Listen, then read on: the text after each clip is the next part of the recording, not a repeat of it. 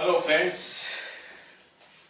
Uh, next case is not of basics of probability, but it is of Bayes theorem or Bayes probability law, consisting in the calculation of um, conditional probability, joint probability, marginal probability, and posterior or revised or inverse probability. Uh, we are going to use the tabular approach. Let us first read the question. A company has two plants to manufacture scooters. Plant 1 manufactures 80% of the scooters and plant 2 manufactures 20%. These are always, the cause events are always mutually exclusive and exhaustive. There are only two plants, there is no third plant. All the manufacturing is done in two plants and a particular product can either be manufactured at plant 1 or 2. So mutually exclusive and exhaustive cases. At plant 1, 85 out of 100 scooters are rated standard quality or better. Let us use the term standard quality. What is the probability of a scooter being of standard quality if manufactured at plant 1? That is 85 out of 100, that is 0.85 or 85 percent. So this is conditional probability of a scooter being of standard quality if it is manufactured at plant 1.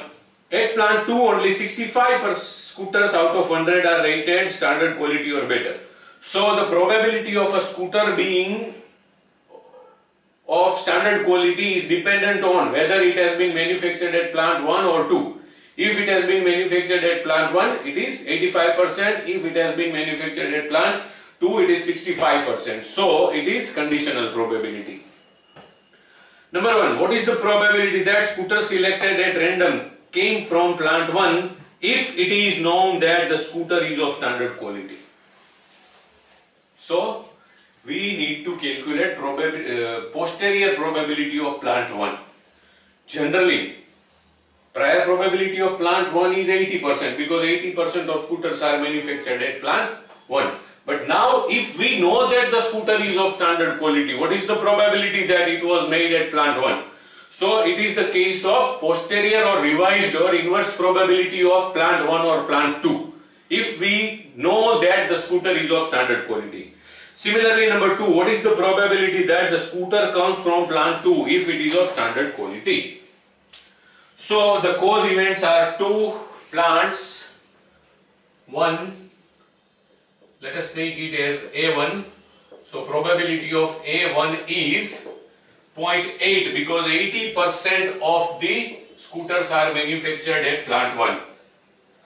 Now, conditional probability of a scooter of standard quality if made at plant 1 or 2. If it is made at plant 1, that is B given A1.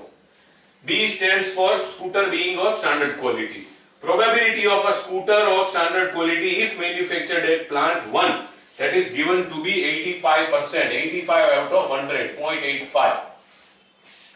Now if we multiply these two, we will have the joint probability P of a1 intersection B. What is the multiplication of these two? It comes to 0.68.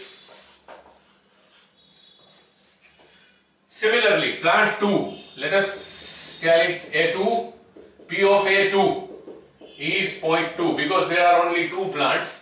80% scooters are manufactured at plant 1, 20% at plant 2.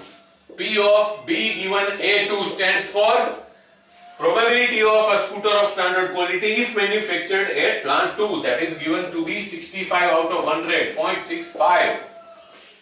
Multiply these two. P of A2 intersection B.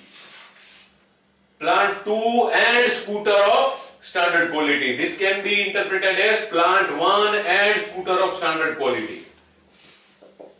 Yes, 0.2 into 0.65 comes to 0.13. Summation of these two joint probabilities is marginal probability of B 0.81. What is marginal probability of B or what is the interpretation of marginal probability of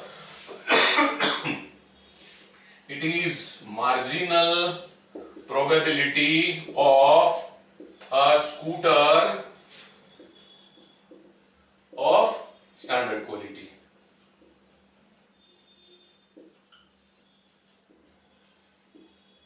that is P of B. That means randomly selected scooter, a randomly selected scooter, the probability of that scooter being standard quality is in general 0.81 irrespective of the plant which manufactures it. Now we can calculate the revised or posterior or inverse probability. Now we know that a scooter randomly selected at random scooter selected at random is of standard quality. What is the probability? It came from plant 1. That is P of A1 given B. That is P of A1 intersection B 0.68 divided by P of B 0.81. Similarly, P of A2 given B also we can calculate that is P of A1 inter A2 intersection B 0.13 divided by 0.18 that is marginal probability P of B. The simplification of these two are 0.8395 and 0.1605. The summation of posterior and prior, rather prior and posterior probabilities must be 1 every time. This is point of say verification.